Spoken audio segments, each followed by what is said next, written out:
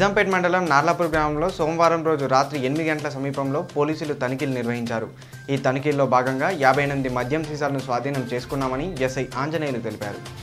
గత రాత్రి తేదీ మూడవ తేదీ పన్నెండవ నెల నిజాం నిజాంపేట మండలం నార్లాపూర్ గ్రామంలో ఎన్నికలకు సంబంధించిన అక్రమ మద్యం నిల్వలు ఉన్నాయనే సమాచారం మేరకు నిజాంపేట పోలీసులు నార్లాపూర్ గ్రామానికి వెళ్ళాం.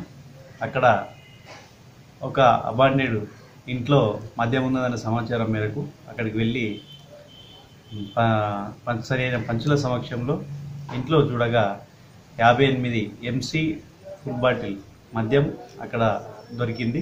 దాన్ని సీజ్ చేసి పోలీస్ స్టేషన్ తీసుకొచ్చి కేసు నమోదు చేసి ఉమ్, పరిశ దర్యాప్తు చేపడుతున్నాం. అట్టి అవాండెడ్ ఇల్లు నార్లాపూర్ గ్రామానికి చెందినటువంటి ఇంద్రసేనారెడ్డి ఇంద్రసేనారెడ్డి గారికి చెందినదిగా తెలిసింది. వారు ఇప్పుడు అక్కడ ఇంట్లో ఉండకుండా హైదరాబాద్లో ఉంటున్నాడు.